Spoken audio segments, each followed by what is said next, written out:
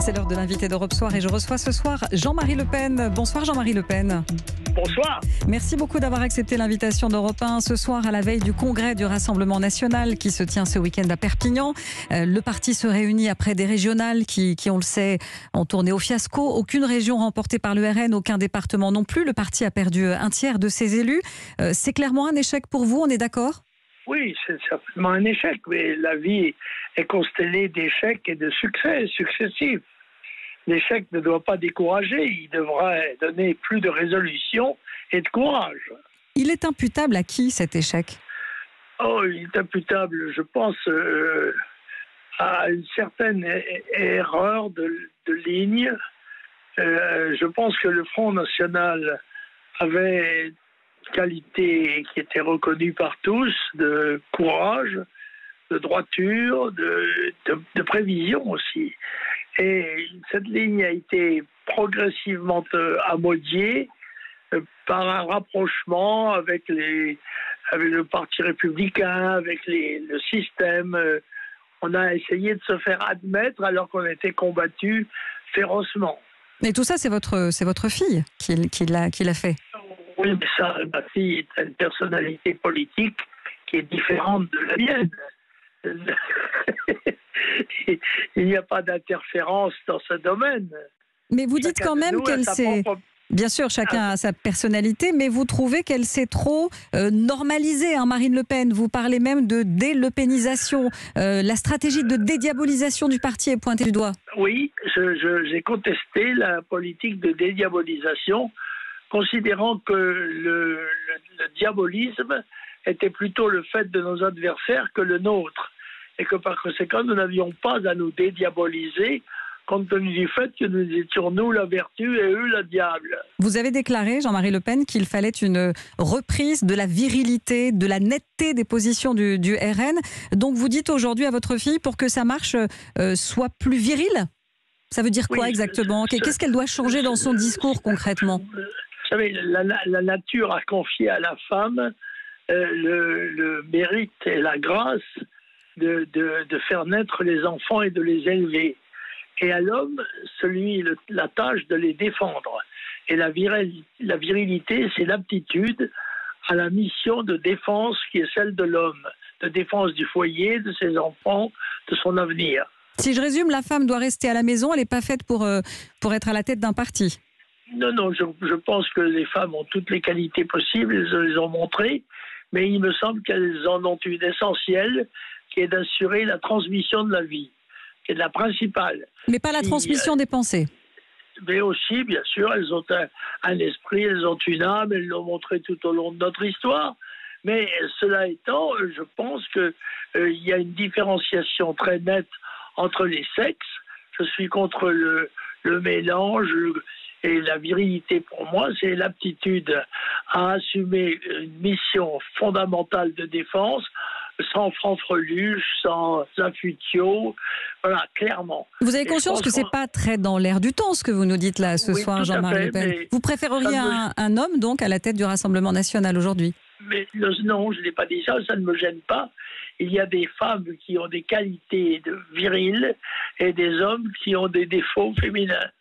Bon, euh, pourtant, vous, euh, quand vous étiez à la tête du parti, vous aviez un discours euh, plus viril, plutôt viril, c'est le terme que vous employez. mais vous aussi, vous aviez un, plafond de verre, Jean-Marie Le Pen. Ça veut dire quoi, un plafond de verre? Ah. Ça veut dire, c'est la limite que mettent vos adversaires à, votre légitime ambition. Hmm. ça se brise, les, les plafonds de verre, ça se brise sous la force et avec l'appui du peuple. Alors, tout le monde n'est pas euh, forcément d'accord avec votre analyse. Euh, Robert Ménard, par exemple, le maire de Béziers, il dit que euh, le parti, plutôt que de se replier sur ses fondamentaux, il doit au contraire rassurer les Français qui ne votent pas encore pour le RN. Vous n'y croyez pas? Je crois au contraire que c'est en revenant à ces fondamentaux qu'il peut les rassurer, car compte tenu des dangers imminents qui nous menacent, je pense que le peuple a besoin d'être défendu et qu'il fera confiance à ceux qui sont capables de le faire. Et ceux-là ne sont pas des, comment dirais-je, des, mixtes, des, danseurs, ce sont des, combattants. À la vérité, l'image la plus évidente de, la virilité, c'est le soldat. C'est celui qui combat, qu'on risque de, sacrifice euh, suprême. Bon, euh, Jean-Marie Le Pen, depuis quelques mois, vous savez qu'un duel s'est installé, ou en tout cas veut s'installer, Emmanuel Macron face à Marine Le Pen. Est-ce que Marine Le Pen, au second tour, euh, est-ce qu'elle peut gagner? Ce n'est pas probable, mais c'est possible. Et en, effet, il y aura le, phénomène principal sera un phénomène de rejet. Il faudra savoir si le rejet de Marine Le Pen est moins fort que le rejet de Macron. Moi, je crois que le rejet de Macron sera plus fort et que Marine Le Pen a une possibilité d'accéder à la présidence de la République avec ceux qui sont capables de l'aider, c'est-à-dire tous les Français qui sont imbus de la, grandeur de la France et de son service. Voilà ce que je crois être l'avenir, la chance. Si nous ne faisons pas cela, alors là, tout est à craindre. Mais vous, vous pensez qu'il y aura un jour un, président euh, du Rassemblement national à l'Élysée? Pourquoi pas? Euh, Qu'il soit du Rassemblement national, du Front national, du moment que ce soit un national, un patriote, désireux de servir la France et le peuple français et son avenir, ben, je suis prêt à le soutenir. Voilà, pas de problème. Il y en a un qui pourrait franchir le pas et se présenter en 2022. On en parle beaucoup en ce moment, c'est le, polémiste Éric Zemmour. Euh, vous en pensez quoi, Jean-Marie Le Pen, de cette éventuelle candidature? Ben Écoutez, j'ai beaucoup de sympathie et d'admiration euh, pour Zemmour. Cela étant, comme vous l'avez dit, c'est un polémiste. Et ce n'est pas une fonction qui, en principe, prédispose au rassemblement des Français il faut des polémistes pour dénoncer les faiblesses, pour fustiger les, faibles et les criminels, mais il faut aussi des gens capables de les rassurer, de les rassembler et dispenser un amour qui n'est pas exclusif d'ailleurs de la discipline de vie. Si, je conclus notre discussion euh, ce soir sur Europe 1, Marine Le Pen est-elle encore le bon pilote pour le RN C'est elle qui est en place. Bien sûr. Et, elle, va être, réélue puisqu'elle est la seule candidate. Hein. Je ne sais pas. Euh, je ne sais pas. Elle est en place. Elle, représente pour l'instant la chance des nationaux.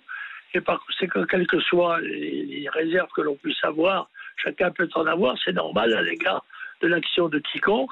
Eh bien, c'est elle pour l'instant qui représente la chance des nationaux contre Macron et la capacité de le vaincre. Et vous ne préféreriez pas que ce soit votre, votre petite fille, Marion Maréchal? On sait que vous êtes proche d'elle. Elle s'est retirée de la vie politique active, mais est-ce que vous, vous pensez qu'elle incarne davantage l'avenir du Rassemblement national? Mais, Marion est un personnage très, très important, très attractif. J'ai beaucoup de, sympathie, d'amour pour ma petite fille, mais de, de respect pour ses qualités personnelles, ses qualités politiques, mais elle n'est pas sur la ligne de départ. Par conséquent, je ne me détermine pas par rapport à Marion. Mais elle serait euh, suffisamment virile, Marion Maréchal? Je ne sais pas, euh, on verra bien quand elle viendrait, si elle venait un jour à prendre des responsabilités avec un programme qui, lui, serait clairement déterminant de ce qu'elle souhaite faire et des qualités qu'elle va mettre à leur disposition. Bien, je vous remercie Jean-Marie Le Pen d'avoir été l'invité d'Europe 1 ce soir à la veille donc de l'ouverture du congrès du Rassemblement national à Perpignan. Merci. Au revoir Europe.